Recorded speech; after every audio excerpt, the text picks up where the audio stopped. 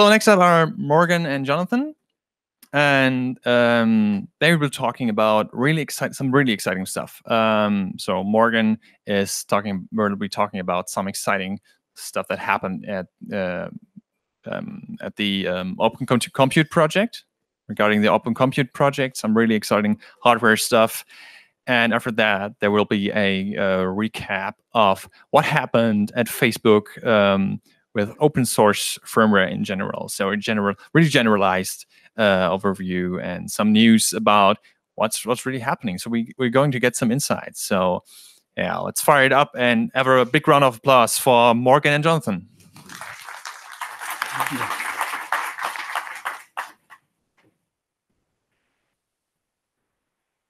Hi, everyone. Um, my name is Morgan. Uh, I uh, I am a bioengineer engineer and responsible for the open system firmware project in Wiwynn. And then and now I'm talking about the uh, Tioga Pass ordering and uh, building instruction for Linux boot. Here's the agenda. Uh, the first, uh, I will talk about the uh, have a brief introduction and uh, talk about how to have a, a retire order for Tioga Pass. And next is for building process of Linux boot for Tioga Pass. And the final is for Wiwynn's uh, open system firmware ready plan from uh, 2019 to 2021. Uh, is a cloud uh, infrastructure provider that develops high density computing and storage products and we also have a rack solution for data centers. Uh, we are working with uh, customers uh, to enable open system firmware uh, in our products, uh, including uh, Linux Boot and uh, Linux Foundation OpenBMC. Um, Tioga Pass is one of Wiwynn's OCP server products, and it includes Intel Skylake SP processor, and, and the RISC-V PCH. Uh, you can find more information on Wiwynn website. Uh, we have verified uh, Pass can be powered on with boot BIOS. Uh, for retire order, uh, you can contact JKD uh, for the detailed information. Here's the keyboard list for uh, Pass. Uh, you can find the information of processor, memory, chipset, and then expansion slots. we have a, we will have a demo tomorrow in Facebook. please welcome to see it.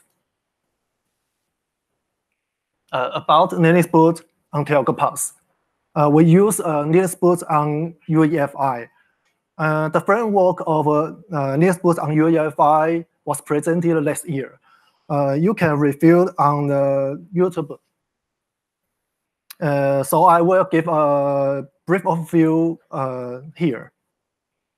The first one, uh, extract the necessary firmware files from UEFI BIOS for initialize the, the platform, uh, like initialize uh, SPI tables. The second one, uh, Boot is executed as an EFI application. So the boot flow is like uh, the system boots from minimize UEFI and then execute uh, next boot. Then the final is target OS. Uh, the following is uh, talking about how to build a Linux boot uh, for Tioga First, uh, of course, you have to download the building package. Uh, second, you need to get the patch for uh, building Linux boot for Uh, I will talk about this patch later. Third, build the current image for Linux boot. Uh, you can review to, uh, re, you can refer refer to the building guide. Fourth, place the UEFI bus of Tioga Pass and base image into the build, building package. Fifth, uh, start to build the Linux boot BIOS, and uh, you can get the Linux boot BIOS at this path.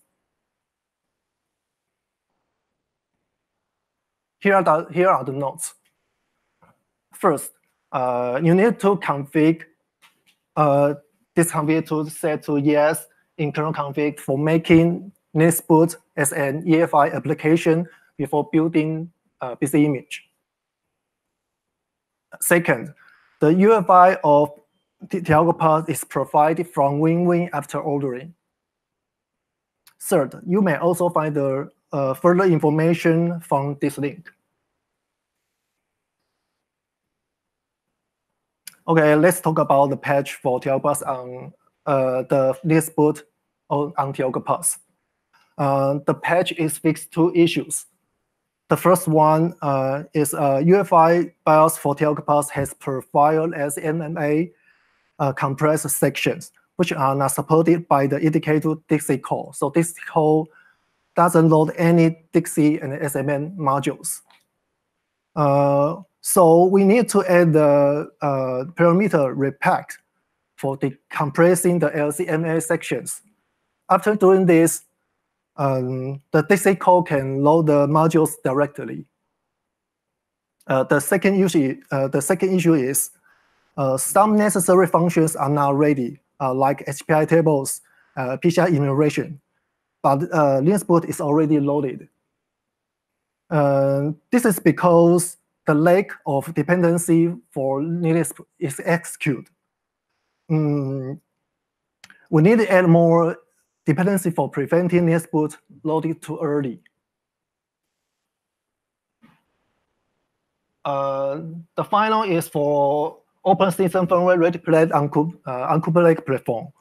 Uh, in 2019, we developed the features on Monolake platform first because uh, the Lake, uh, the platform is not ready yet. Uh, we would like to uh, move these features to Lake platform uh, after the after we bring up the Cooper platform. In 2020, we would like to get these features ready, uh, like hardware-related features, legacy, legacy BIOS functions, and uh, OEM features. In 2021, uh, we would like to get open system firmware ready for production. Thank you.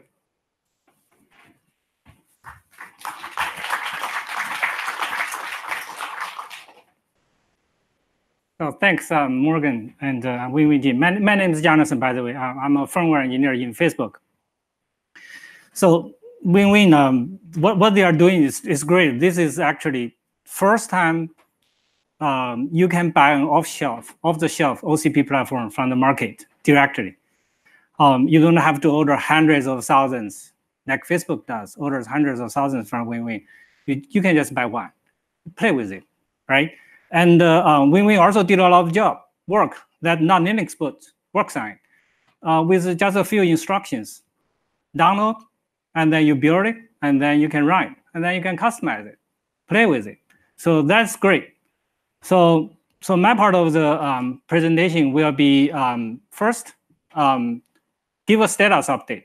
So what Facebook is doing in terms of firmware development. So Facebook is not firmware development house, right? But we are going to be one of them. So why we are doing that? Um, and then I talk about um, for our stack of the firmware, what is the build system design and uh, how we plan to enable our partners and work with the community. Um, so getting a community, a, a, a, a vibrant community is, is, is vital to our success. Um, so in Facebook right now, um, we are doing uh, network server deploying. Uh, so if you remember that yesterday morning, Van, uh, Ron uh, had the, the quote, right? So that was an announcement from our, our networking team that they build a new switch. It's great. It's a shiny new switch. It comes with new firmware. So which runs um, core boot, Linux boot. Uh, open cellular. So um, in OCP, there's an open cellular project. Um, we build those open cellular uh, devices worldwide so that billions of people can connect with each other. What's running in the open cellular devices? Core boots, Linux boot. So that's deploying. Now, in our conference room, there are thousands of devices like this. Um, you can play with it. Uh, you can make video calls. uh, they run Coreboot Linux boot. So we are not stopping there. We're working on computer and storage servers. So our next goal is in the data center, millions of devices in our fleet. Uh, we hope we can get Coreboot and Linux on it. We are hacking on it. So, so this um, presentation is about uh, what's our plan for our hacking, our, our, our design choice. So first, in the last several days, right, we heard a lot of acronyms, Slim boot, uh, U-boot, um, MIM platform, um, and uh, um, and uh, uh, right? But for us, uh, we need to pick up something practical because we need to be able to to get to ready to get into data center in the next one to two years. Um, and um, we needed to meet our um, our users demands, right? Our, produ- our, our, our friends in our production engineering, they need to take care of millions of servers. How do they do it? How do they do it? So they, they, they have a lot of requirements to us. So in the end, we choose this um, solution, uh, which we use the Coreboot to do the silicon initialization. Then um, we put into Linux, embedded Linux kernel. And in the Linux, embedded Linux kernel, uh, there's init run fs have a bunch of user space tools, including bootloaders. Uh, and then from that, um, uh, we, we use that Linux to boot the target Linux. So, so the embedded Linux kernel and the initramfs is on the boot run together with coreboot image. Motivation. Why do we do this? What are our requirements from our customers?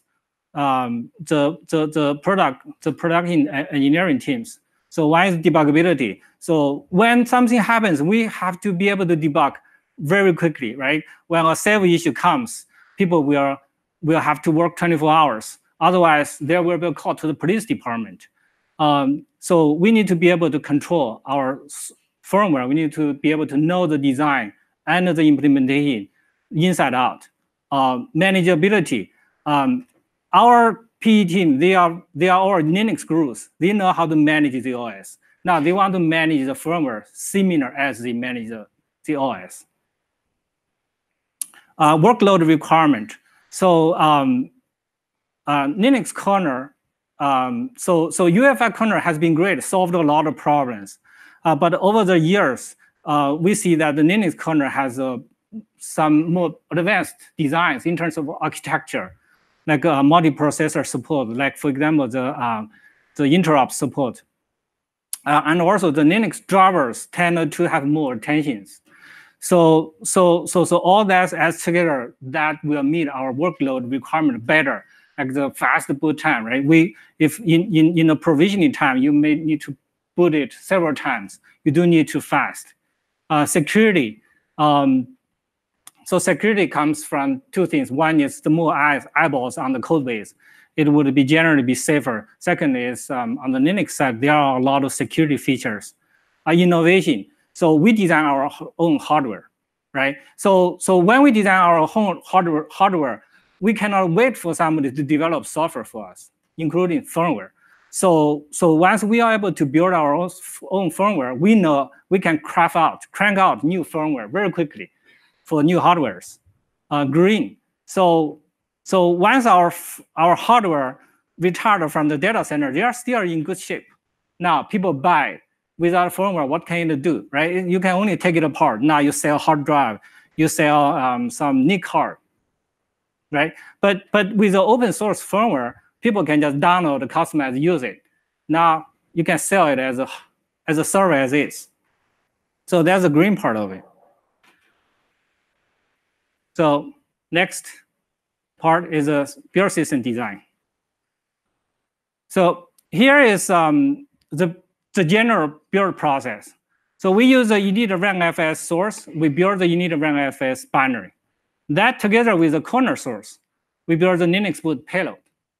Now with Linux boot payload and a core boot source and a silicon vendor binary blobs, we get the firmware image and flush on the um, on the flash, and then um, it, it boots up. So I'm going to uh, break down into each of the components and then summarize it. So the first group of components is the build environment. So in Coreboot, there's um, there's cross toolchain build for for for ELF. So um, so you need those cross GCC tools. It's downloaded from somewhere, either from internet or from your company's copy of it. You need a toolchain for other components. At this moment, uh, it is using GCC. Uh, Coreboot using GCC at this moment, and it's need, it has some requirements. It has to be no, no older than 500. So those are the build environment requirements. And in order to eliminate the build environment, any potential issue brought forth by the build environment differences, we use Docker to ensure the build environment is identical. You need to run FS. Um, our choice of the technology is Go language. So, so because that's that's for the userland um, userland code, and the Go is a modern system programming languages. Uh, it has built-in testing facilities. So um, um, we, we, we, we, we already, so, so, so using the Go language, um, we together with the uroot community, uh, we did, uh, there is a full Go source uh, userland with Linux bootloaders. So the Linux bootloader, so, so um, there are probably 150 or so Linux commands are rewritten in, in, in Go and runs in uroot. Um, and uh, we also developed uh, uh, Linux bootloaders. The bootloaders would uh, have the file system drivers and the network drivers, and we'll, we'll, we'll go to the uh, local local uh, disk and the network and, and the network environment to find the bootloaders and jumpstart it. Uh, uroot, one advantage of uroot is it can be source-based, like a Perl uh, Linux. So that means that enables fast development. So when you are doing development, you can do source-based. Uh, it's like uh, you're doing a, a script.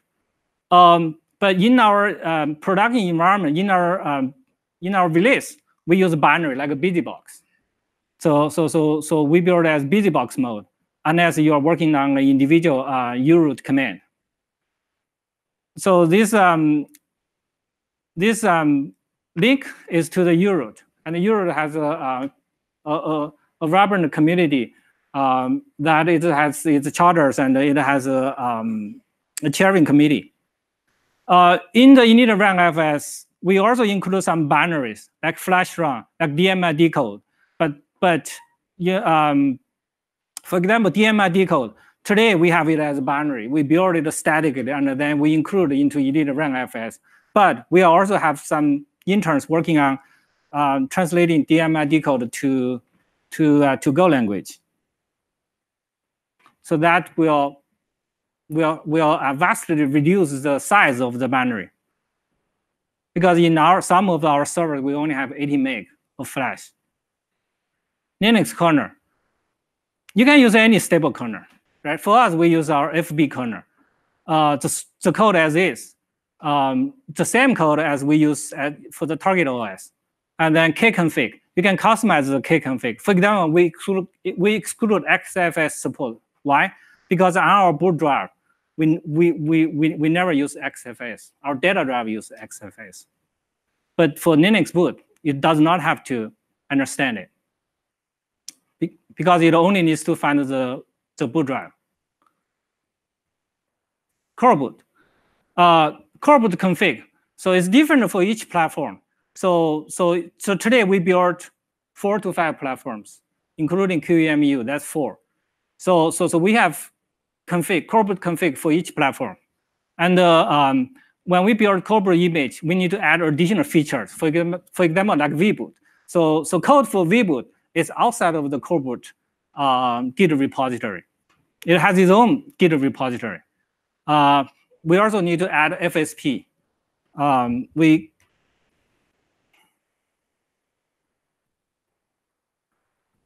So to make a um, full firmware image, we need other SIP um, binary blobs, such as IFD, ME, and microcode.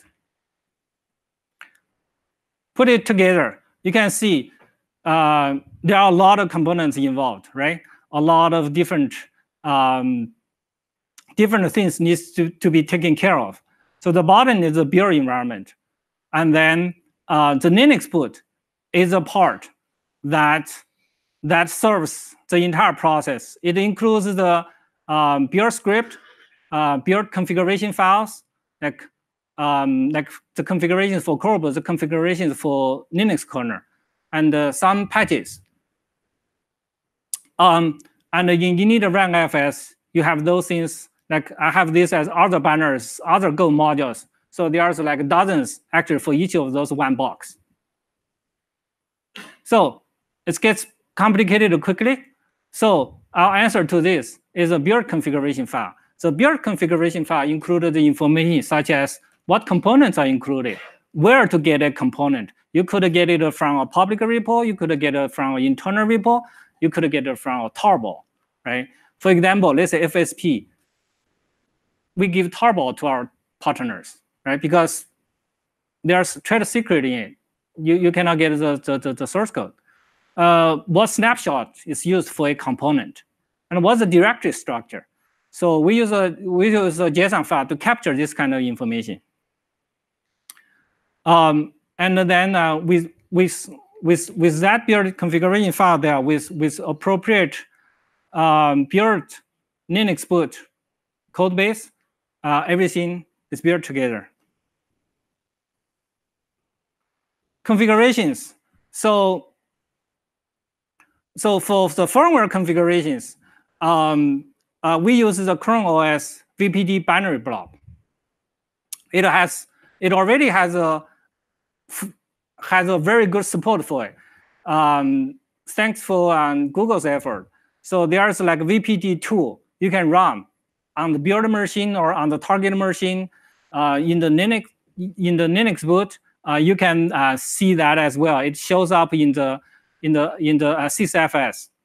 Um, configurations can be used for things like, for example, FSP configurations, right? You you can um, um, set up so ODMs can set up default configurations uh, in VPD, and the user can set up uh, in VPD as well, and then it can uh, use those settings to customize FSP boot behavior. Another example is you can use um, the configuration to set up the boot, boot log uh, verbose level.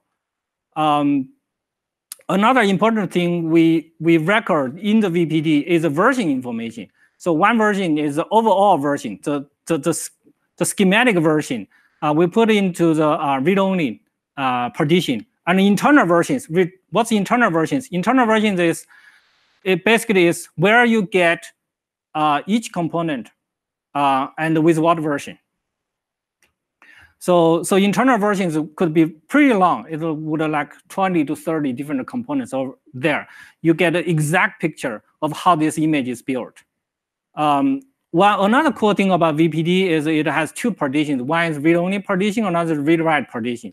So, so, so, so with read-only partition, once the server is shipped, gets to the user's hand, read-only partition is locked. Uh, user cannot change it.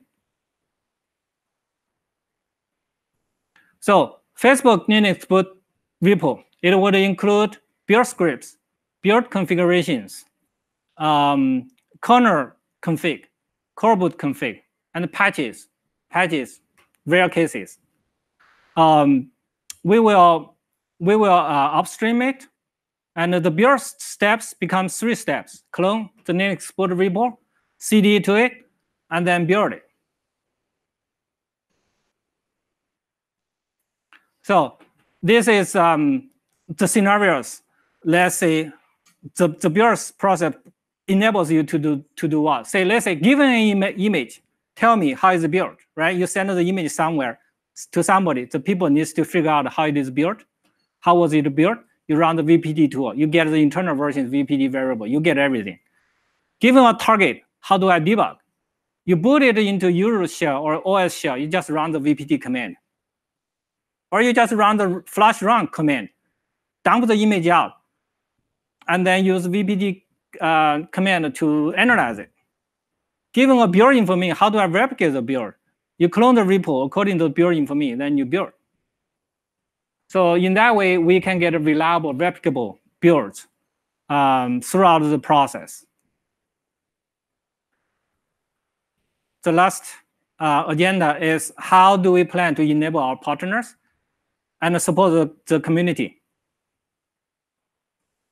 So um, OCP uh, is found based on the um, based on the concept that um, open hardware uh, will uh, help with the industry innovation, right? So so um, so the so so so we submit we submit the OCP platform design together with our ODMs um, after so when we are ready to go to mass production. So so we work with our ODMs on on power on, uh, EVT, DVT, PVT, and mass production. So so from the firmware development viewpoint, during EVT, DVT, and PVT, we collaborate collaborate with our partner to get it ready we, we, we, we get all the server features ready, we get our infrastructure ready, right? Get all the ready. Now it is ready to, to, to be mass deployed in the data center. At that time, uh, together with ODM, we will do the OCP platform submission. And that that's we called at that time, we are about to enable the community. When we submit the OCP platform, we submit two things. One is hardware design spec. So anybody can just download uh, and then um, and then uh, using the design, either replicate the design or modify the design to suit your needs. Uh, on top of that, uh, a new thing we are going to do is we will we will make the open system firmware ready.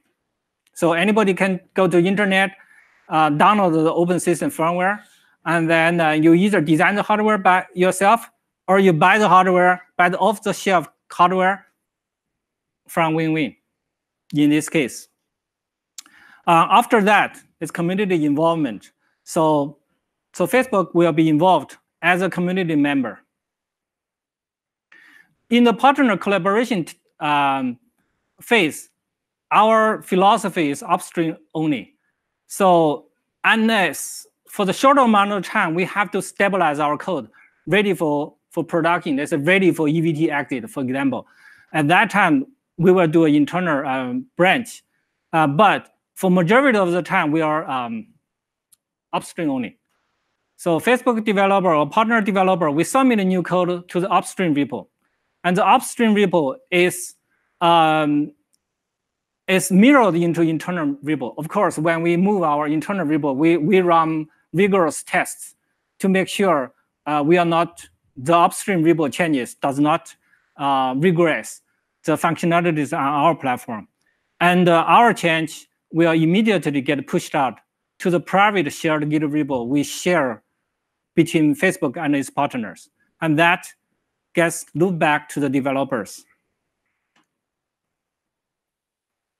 For community enablement, at the community enable, in, in, after the community is enabled, Facebook is merely a community member. Um, we probably will be we will be a very active one, but we are just a community member. We are not uh, the owner of the code anymore, um, but we will help to maintain uh, all the pieces, all the pieces to make a firmware, uh, to make the the um, the server to be able to power on um, is downloadable and redistributable. So that would include everything, including Linux boot code, core boot code, and uroot code. Uh, and uh, thanks for uh, our friends, uh, the silicon vendor binaries will be also be able to be downloadable and redistributable. Uh, then with this, OCP members can customize for their infrastructure as needed. Um, if, if, if, if they need distribution support, they can get help from the community. Um, and they can help from professional um, uh, third-party event, um, BIOS vendors. Like the same thing, they get help from Red Hat, for example. Um, all, all those code development uh, are not work uh, without a good test framework. So within Facebook, we have a lot of our own ways of doing testing, like how to get uh, get a server, uh, how to dispatch the test out to servers, how to connect the results. Um, we want that to the, the similar process to be also available in to the open source community um, because we do upstream first um, philosophy. That means everybody's commit to coreboot to u-root is going to affect us. So we are developing something we call a contest, uh, which can run tests uh, in continuously on demand or per diff. And it will have the flexible uh, set uh, design to have plugins to accommodate different types of test infrastructures, including our own test infrastructure and other test infrastructures of various companies. Uh, we will open source that. Call to action. Um, so in OCP, there is an open system firmware project. Um, note that it's called open system firmware. It's not called open source firmware um, because um, OCP comes from the viewpoint of open system, system viewpoint. Uh, OSF project, uh, it used to be an incubation project. Uh, now it's a formal project. So other projects would be like server project, like Parse project, or thermal project. Uh, so firmware is now a, um, a very important part of OCP charter. Uh, in the OCP OSF project, we have uh, hyperscalers, um, and uh, we have um, silicon vendors, ARM, Intel, and uh, there is also uh, ODMs um, and other companies like um, IBM. Um, so so yeah, um, if, please join those and uh, join this um, industry effort. And then on the open source development side, uh, there's OSF communities, LinuxBoot, uh, u-root, uh, coreboot. Another thing you can do is buy the off-the-shelf platform and play with it. So you can play with it today. Thanks.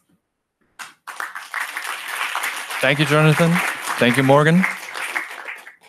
About time for seven questions. So if you have any questions, go to the microphones and ask questions. You can line up there. You don't have to stay back. You can just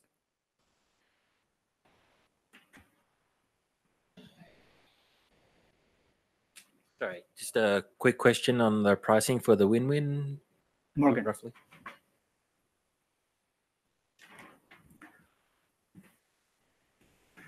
What's the rough pricing on the Wiwynn off-the-shelf OCP? Price. Price. Price, um, it's more sensitive here, so you can contact contact the win contact window about the JKD. Uh, Can you show the picture Oh, the of the of the um, of the part numbers? Like it has a v- several parts. Yeah. Uh, excuse me, uh, wait for a minute.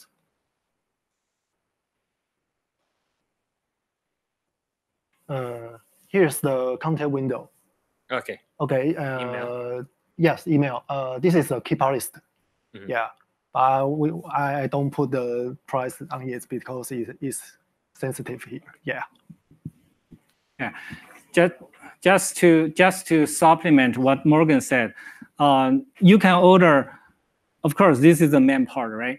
In addition to this, you can also order uh, debug card, right? Yeah. Yes. Yeah, and the This is- power cable so that you can hook up to the wall, right? Because normally this just gets into ha- rack. Yes. Yeah, you could go back. Yeah, this does make me really happy too, especially that debug card. It's impossible to try to find anything like that or Yeah. I'm afraid of electrical fires at home, so that helps me a lot. Thank you. Okay. Welcome. It also has a. That sounds great. Are there more questions? Yeah. Please just just line up at the microphones.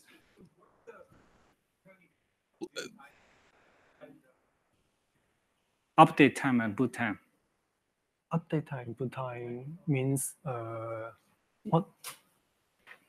Yeah, if you know, don't say it on the microphones. People can hear you, and it's off the record. So Sorry, so I do want to understand. Do you have any data on the boot time and the update time with this uh, this new firmware stack?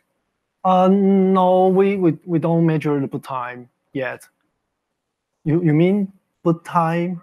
I mean, once you have this uh, coreboot, how, how long it takes to boot as compared to traditional boot with, you know, IA firmware?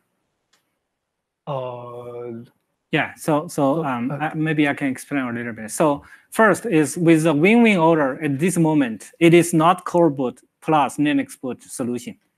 It is minimize UEFI plus LinuxBoot solution. It's still a lot faster than the full stack uh, UEFI. Um, you may notice that they have to slow down LinuxBoot process to to get rid of some problems. Yeah. So so so so it's boosts faster, but I, I do not have the number. How about the update time? Update time. Uh, you mean the, the the firmware flash time? Yes. That would be the exactly the same because you still f- uh, flash like 32 meg of image. but but uh, I'm sure, like you know, instead writing like you could use Linux services to write to the flash, so it's going to be much faster, I believe. We use the flashrom tool yeah, to flash uh, it. the, the um, burner, Okay, yes. It's We use the faster. burner to flash the, Yeah. it's faster or is it same? Um, David, you have some ideas about speed of flashrom compared? want to come to the microphone and tell us something about this? I, I haven't tried it on this configuration, so um, but uh, since it doesn't rely on the uh, typical SMI mechanism, um, the the thing is it's it, it is faster on its own, but especially if you have other things going on in the background, then, then they won't get interrupted just because you're not going in SMI all the time. He's a flashrom uh, maintainer. So we still have time for a few questions.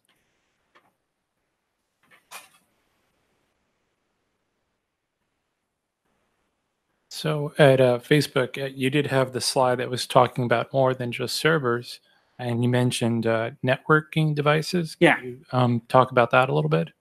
Yeah. So um, in March of OCP, uh, Facebook announced a new type of uh, networking server. Um, and in the networking server, in the um, control plane, uh, the firmware uh, is coreboot plus LinuxBoot. Then we are in the process of deploying this shiny new uh, network server. Yeah, so there's a uh, a blog post on uh, code.fb.com, I think, called um, uh, well, if you search for F16 Minipack, uh, you'll see the announcement.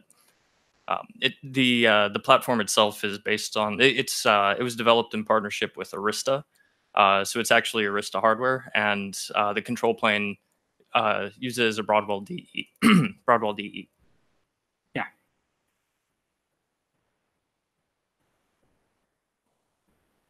Just uh, ask one question about the license, right? This is a GNU license, right?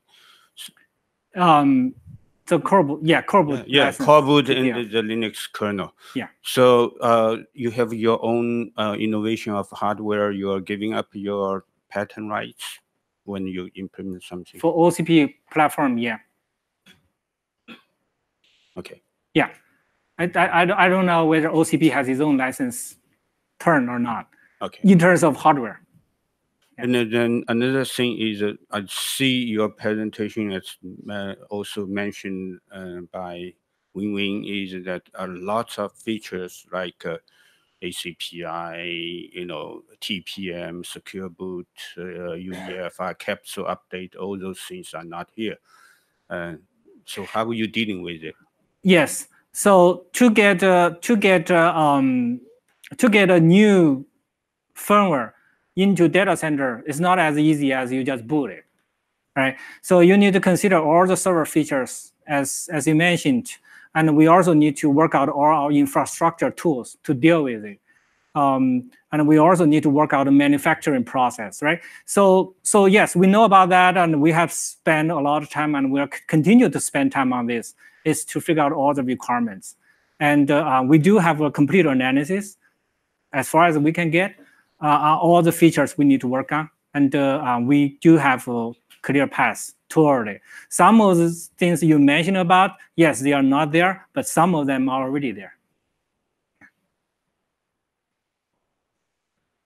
We still have time for about uh, yeah, I think one last question. If anyone wants to ask them something.